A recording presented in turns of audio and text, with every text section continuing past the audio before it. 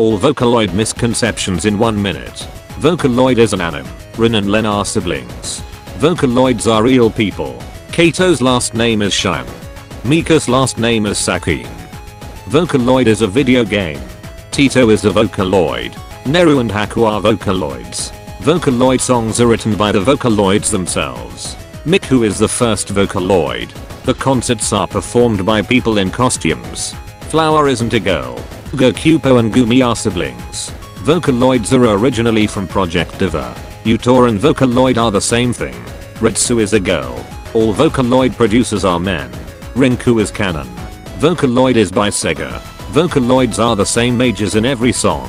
Miku is from Persona 4. Miku is from Friday Night Funkin'. Vocaloids have canon personalities, most of them. Samune me is a real voice bank. Vocaloid is a genre. Vocaloids only singing Japanese,